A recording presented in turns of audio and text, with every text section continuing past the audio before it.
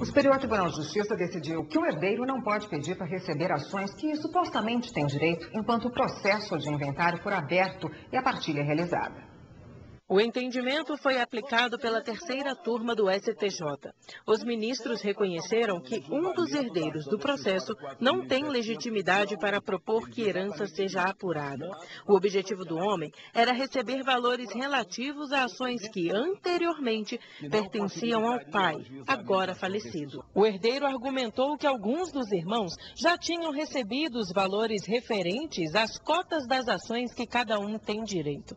O homem então entrou na justiça para receber a parte dele dos títulos. A Justiça Paulista aceitou o pedido e fixou o pagamento da cota em 6 milhões de reais. Os irmãos recorreram e o caso veio parar no STJ. Ao analisar o recurso especial do grupo societário, o relator do caso, Marco Aurélio Belize, destacou que a negociação dos irmãos para receberem as respectivas participações nas ações da empresa aconteceu enquanto o pai dos herdeiros ainda estava vivo. Por conta disso, a liquidação só pode ser realizada antes da partilha, quando houver decisão favorável de todos os herdeiros e não de apenas um. Isso acontece para preservar a entidade empresária. Sendo Sendo assim, a substituição do sócio falecido não ocorre por sucessão hereditária, mas por adesão a contrato social após a partilha.